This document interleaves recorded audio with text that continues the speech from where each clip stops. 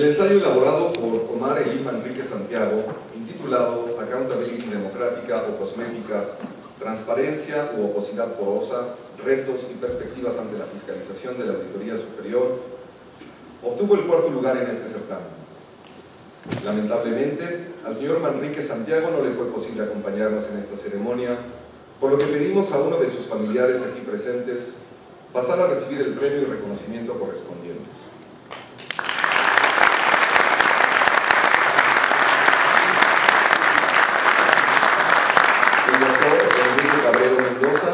director general del Centro de Investigación y Hace entrega de los mismos.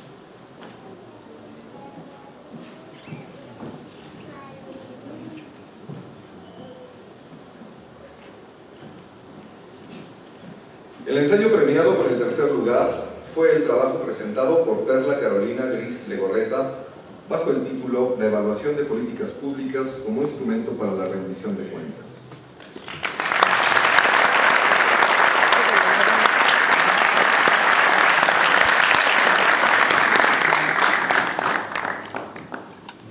El contador público, Luis. Accountability democrática o cosmética, transparencia u opacidad porosa, retos y perspectivas ante la fiscalización superior.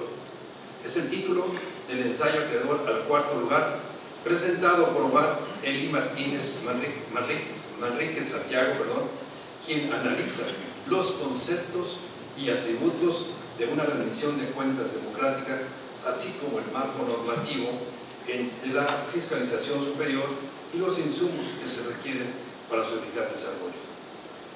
El autor de este texto observa que existen elementos sistémicos en las acciones ciudadanas que fortalecerían y legitimarían con mayor énfasis la actuación de la Autoridad Superior de la Federación, al establecerse sinergias entre la fiscalización superior y la generación de la responsabilidad cívica, cívica de la política gubernamental y del ejercicio del poder público. Apunta también que respecto de las técnicas de fiscalización, estas debieran concretar la organización contable, la confiabilidad de los registros patrimoniales, la virtualización de sus ejercicios, la evaluación del desempeño institucional y los procesos organizacionales de mejora continua. El ensayo elaborado por Perla Carolina